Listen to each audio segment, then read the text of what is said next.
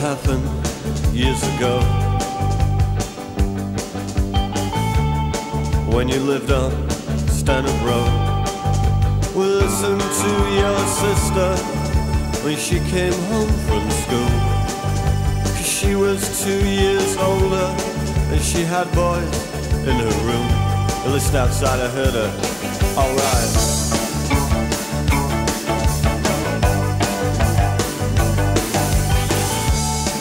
That was alright for a while. But soon I wanted more. I wanted to see as well as hear, and so I, I hid inside her wardrobe. And she came home round four. And she was with some kid called David. And from the garage up the road, I